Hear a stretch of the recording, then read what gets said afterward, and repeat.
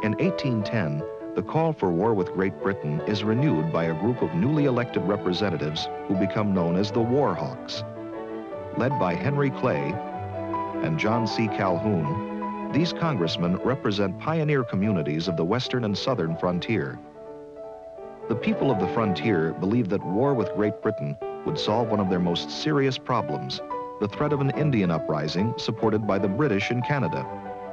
With the rapid advance of the frontier, these Indian tribes have been forced to surrender most of the lands that had been their homes and hunting grounds for many generations.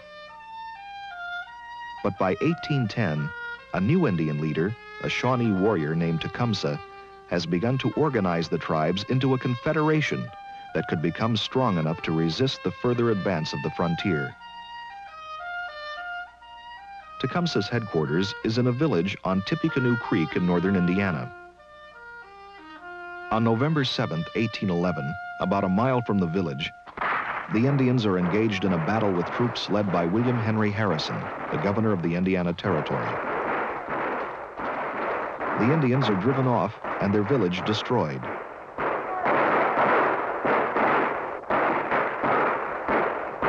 In his report of the Battle of Tippecanoe, Harrison declares that the British in Canada have supplied the Indians with arms and ammunition.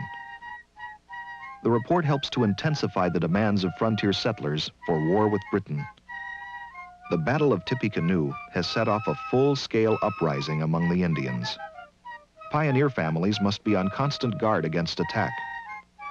It appears that the safety of the frontier can be assured only by an invasion of Canada to drive the British out of North America.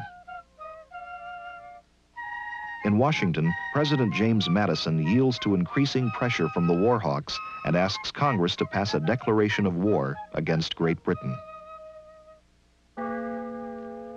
June 1812. In New England, where most people are strongly opposed to a declaration of war, unwelcome news has been received from Washington. Bells sound a funeral dirge. and flags are lowered to half-mast. Posted bulletins give the details. Congress has approved the President's request for a declaration of war. The people of New England fear that war with Great Britain will cause further damage to American foreign trade, which is vital to the economy of the northeastern states. But their senators and congressmen have been outvoted by the warhawks of the frontier states.